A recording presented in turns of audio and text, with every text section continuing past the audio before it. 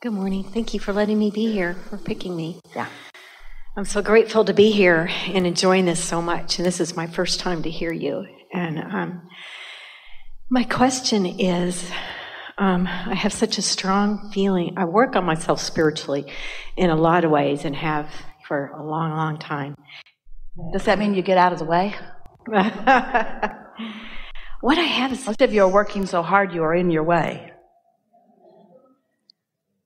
Continue. I have a strong feeling of unworthiness, and I feel like I'm, I start to feel like I'm better. My, my whole goal is to be a good enough person because I'm always afraid somehow I'm going to say or look at someone and hurt them or do something to destroy a relationship or make a mistake that is, and it's just, it's always been my whole life tr- me trying to be a good enough person that it's hard to get to you know anything why, else. You know why that doesn't improve for you? Because you're looking for love in all the wrong places. And we get what you're talking about when you are physically focused and interacting with others.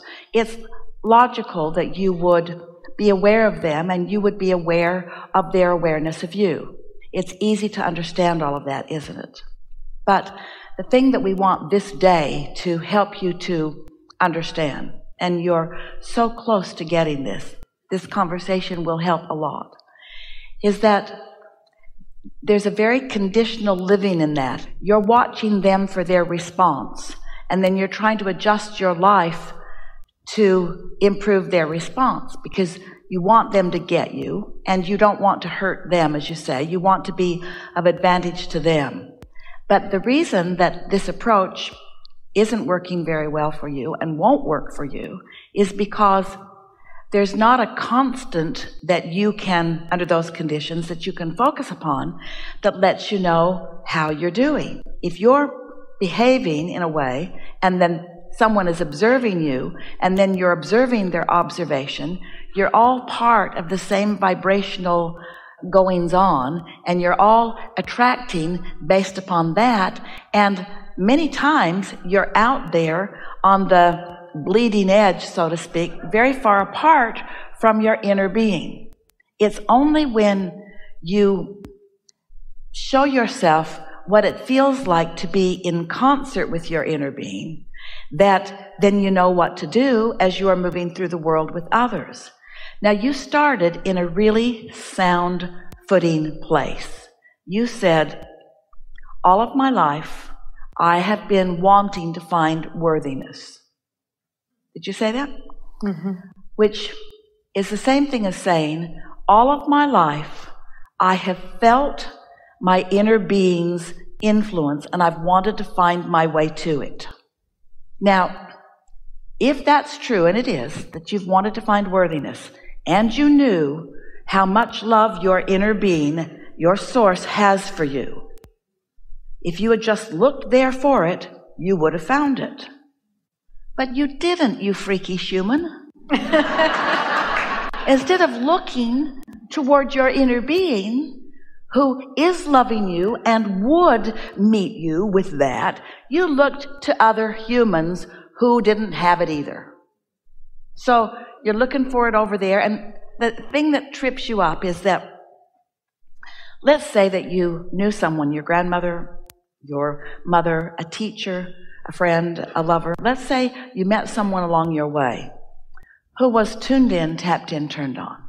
Someone who did feel worthy. Someone who was in alignment. Someone who did look for positive aspects. Someone who did find satisfaction and more. Someone who was pretty consistently in alignment.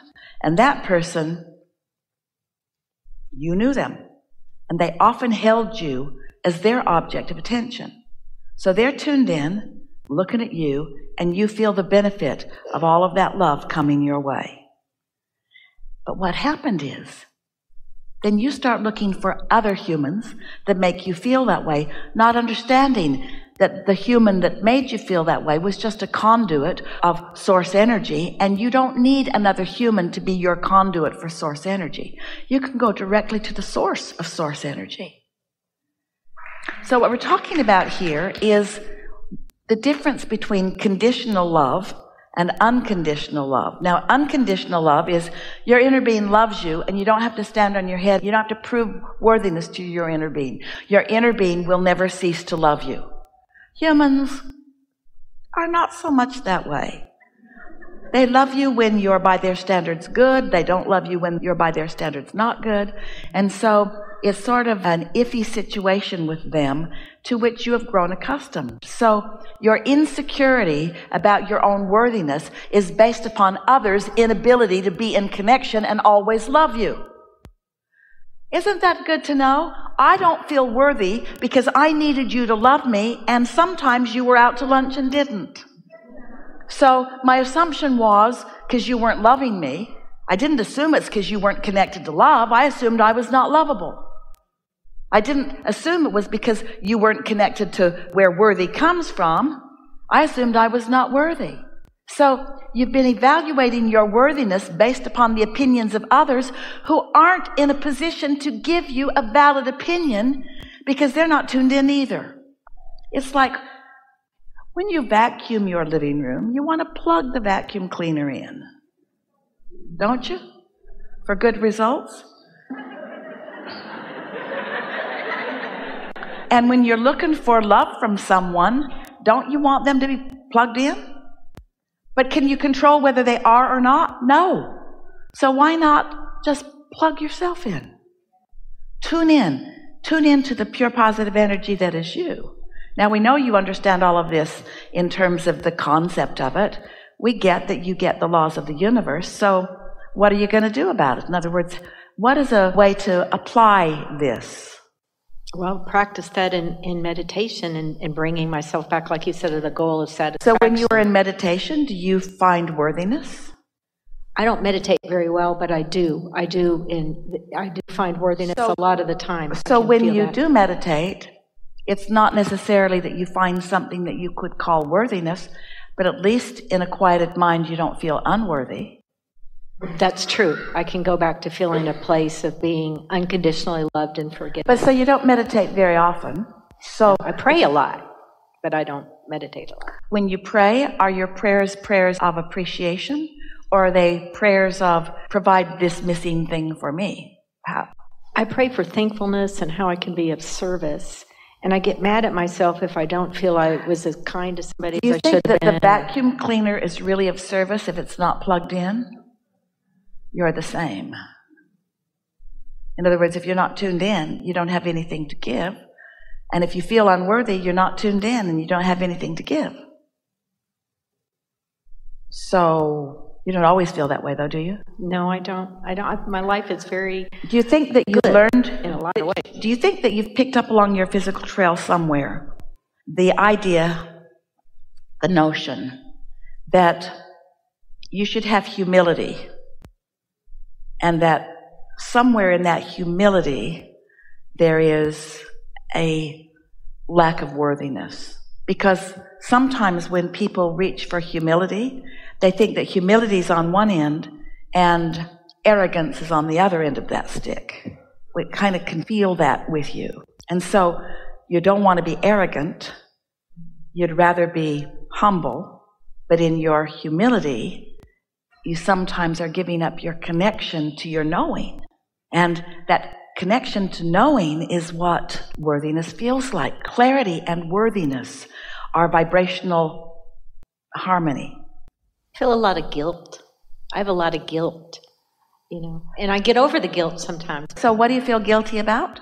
Well, I don't even want to go back to my whole life. Well, we don't want you to either. Yeah. but you didn't say, I felt guilt. You said, I feel guilt. So, what are you feeling guilt about now, these days? Well, one thing is, you know, I decided to leave this church and chaplain team because I don't like um, the new minister and his message. And um, there were some people disappointed about that, but I, I felt it was you the right thing to do. So you feel guilt. This is really good. Not so good, but really good conversation. It's all right. You feel guilty about not pleasing those people but the reason that you decided not to please them is because you could feel that something else was better for you. So you followed your guidance a little ways, but then you feel guilty about following your guidance. There's something really worth discussing here, isn't there? We're just going to ask you a few questions. Do you acknowledge that you are an extension of source energy? I intellectually know that. Sometimes that's real hard for me because I still have this thing about I'm so guilty and bad, you know, and I'm different. I mean, that, I know that's the ego. Yes, I do know that, really. I know that. I know. So, as brilliant as all you humans are, have any of you managed to scrape enough dirt together and launch it into orbit? Then there must be something else going on. Just use your logic a little bit in order to kind of feel the big picture and let your logic help you to realize that there's a whole lot more going on than just this physical and even this human experience. You see, if we can help you to remember that every emotion you feel is about your alignment with that greater you or that misalignment, if you can just trust your emotions, trust that when you feel love, you're hooked up. Can you explain to us any difference between being in a moment of love and being in a moment of worthiness? Um, love feels better because love is um, so soft and comforting, and it just it serves me, and I feel like everyone else, you know. And worthiness, when I'm feeling love, I really feel worthiness. Well, that's the point that we were making. So, what you just said to us, we're going to give it back to you the way you presented it verbally, but even more vibrationally. Love and worthiness are identical vibrations. Because when you are tuned into who you are, you are the love that your inner being is. And when you're tuned into who you are, you feel about you the way your inner being feels about you.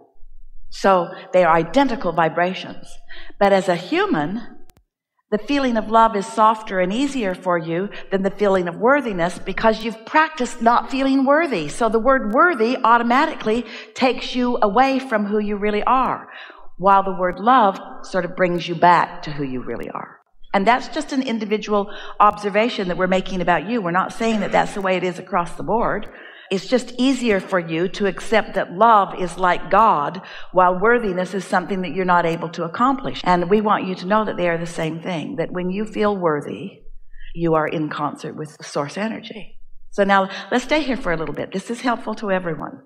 What is it that you said you feel guilty about? And can we agree that when you feel guilty, you're focused on something in a way that your inner being isn't? You're seeing something differently than your inner being sees it. Do you understand enough about your guidance system to acknowledge that that is true? Mm-hmm. So when you feel guilt, what does that mean? You're looking at something different than your inner being is looking at it. So what did you say you feel guilty about? What's the subject? Leaving the chaplain team at my church. All right. So you feel guilty about that, which is different than how your inner being feels. So can you extrapolate from that what your inner being might be feeling? My inner being, I feel, feels at peace and wants me to go a different direction. Your inner being knows that all is well with you. Your inner being is loving you anyway. Your inner being is not judging you as doing something inappropriate. Your inner being is reveling in you moving in the direction of who you are. How are you going to know? If you don't know what you don't want, how are you going to know what you do want? In all this discussion that we've had here today, there's something that we really want to bring forward into the conversation and emphasize in a way that you can all really feel it. And that is you want to acquaint yourself with your guidance system. So you want to identify what is it that feels good to you and what is it that doesn't feel so good to you.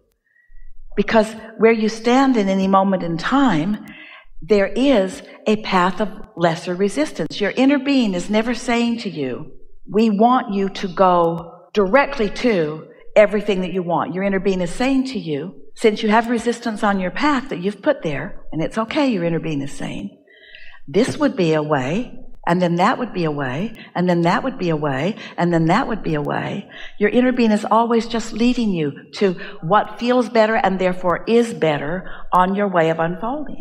Your inner being is not saying, you must do it this way. Does that make sense to you? Mm-hmm. And so tell us again what you feel guilty about.